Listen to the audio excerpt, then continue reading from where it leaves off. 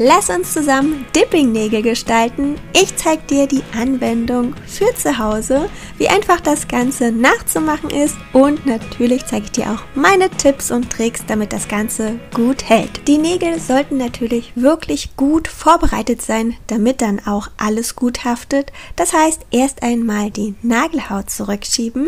Lass dir hierbei auch genügend Zeit, denn das sollte wirklich ganz gründlich vorgenommen werden. Ich feile dann erst einmal die Form noch zurecht und außerdem entferne ich überschüssige Nagelhaut noch mit meiner Fräse. Du kannst dir aber auch etwas anderes benutzen. Es gibt auch einen Löser, den bekommst du in der Drogerie. Kannst ihn dir natürlich auch bestellen. Ich kann ihn dir gerne auch unten verlinken, wenn du hier keine Fräse verwenden möchtest.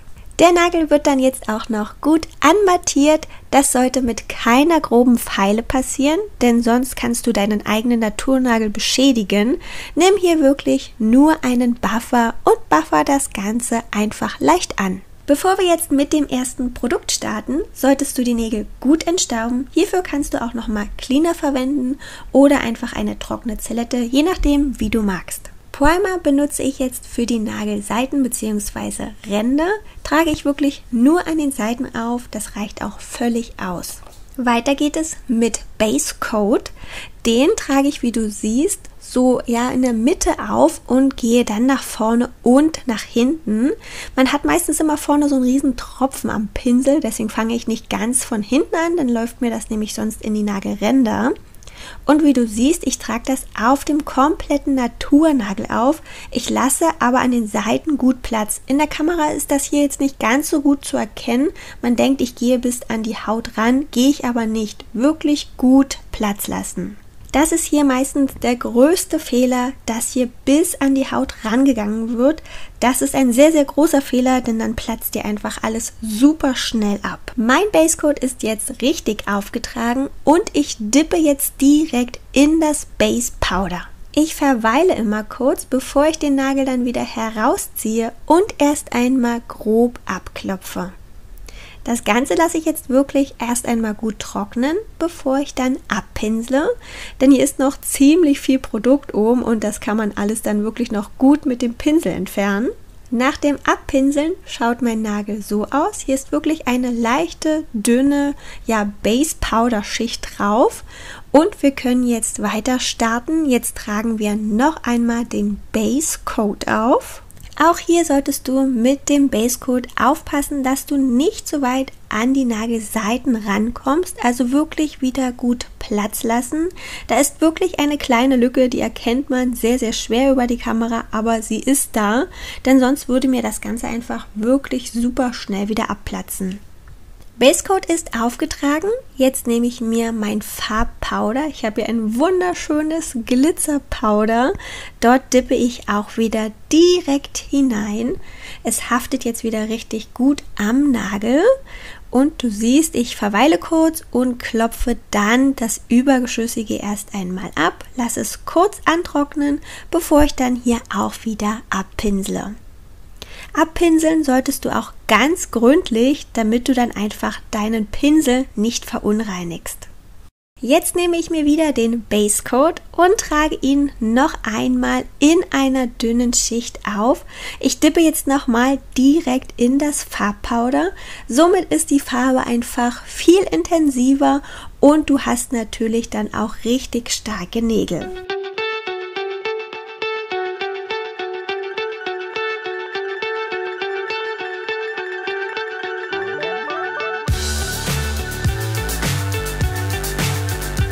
Mit den anderen Nägeln wird natürlich gleich verfahren. Hier trage ich auch jetzt wieder Base Coat auf das Base Powder auf und dippe dann natürlich auch zweimal in mein ausgewähltes Farbpowder.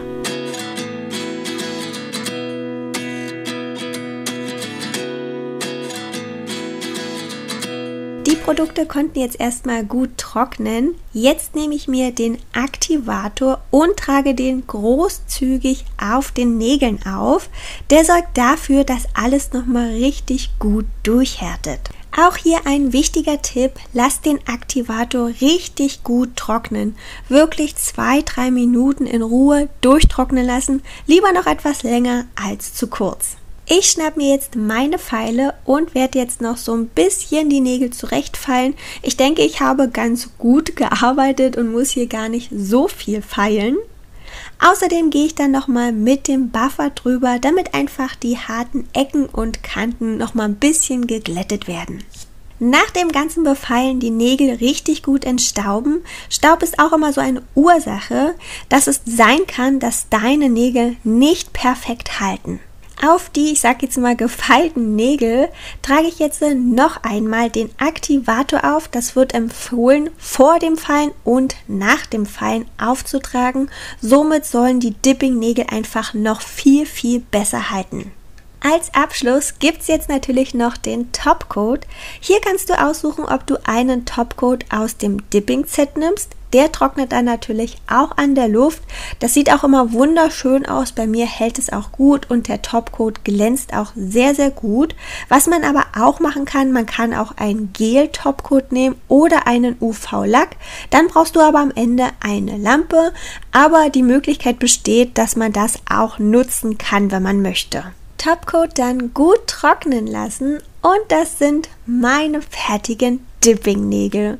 Mir gefallen sie wirklich richtig gut und bei mir hält es wirklich drei bis vier Wochen. Danach fällt es nicht einfach ab, sondern es sieht dann halt einfach nur rausgewachsen aus. Bei mir, wie gesagt, hält es wirklich sehr, sehr gut. Ich kann über meine Dipping-Nägel wirklich nicht meckern. Sehr gerne benutze ich das Dipping-Set von Do Nails. Ich habe aber auch schon so einige andere Dipping-Sets getestet, die auch gut sind, aber das von Dunils ist wirklich, finde ich persönlich, mit das beste Dipping-Set, was ich bis jetzt getestet habe. Wenn du noch Fragen hast, schreib mir gerne unten in die Kommentare. Ich wünsche dir einen wunderschönen Tag. Bis zum nächsten Video. Ciao!